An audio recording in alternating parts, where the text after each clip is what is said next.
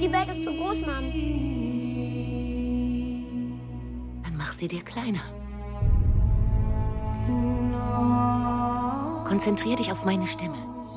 Stell dir vor, sie wäre eine Insel im Ozean. Siehst du sie? Ich sehe sie. Mein Sohn war in dem Bus. Er hat gesehen, was Clark getan hat. Du musst diese Seite von dir geheim halten. Was hätte ich denn tun sollen? Sie sterben lassen? Vielleicht.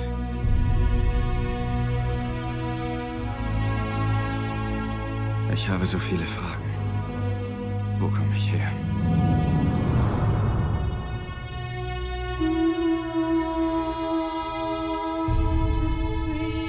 Du musst dich entscheiden, was für ein Mann du werden willst, Clark. Wer dieser Mann auch sein wird. Er wird die Welt verändern.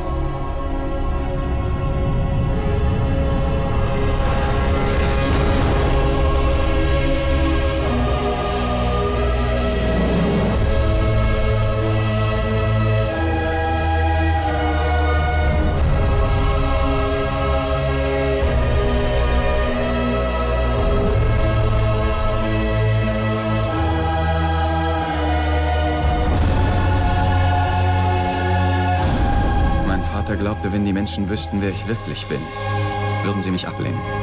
Er war überzeugt, dass die Welt noch nicht bereit ist. Was denkst du?